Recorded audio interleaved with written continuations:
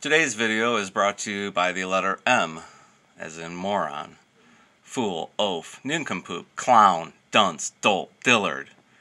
A very stupid person. They were acting like a bunch of morons.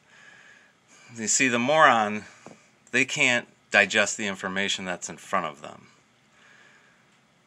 Republicans have never been among the wealthiest in the United States. Democrats have always, always been among the wealthiest people in the United States.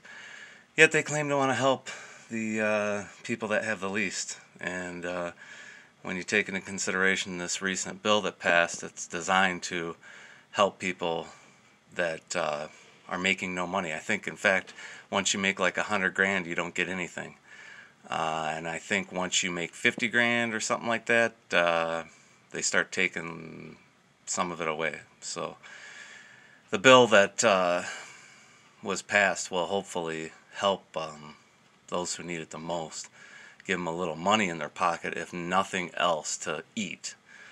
Um, so, which brings me to when has the Democrats or the liberals ever helped you?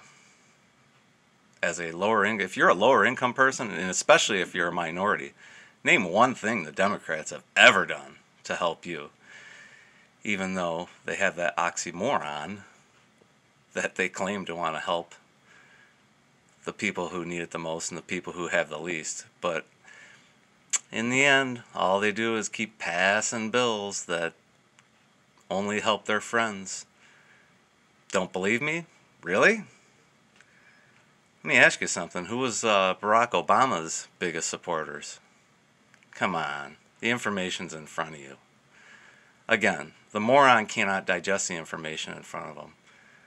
You can usually tell these people apart because they uh, they'll tend to live on their uncle's used car lot. Probably didn't get a uh, diploma, high school diploma, or they get something more like a GED.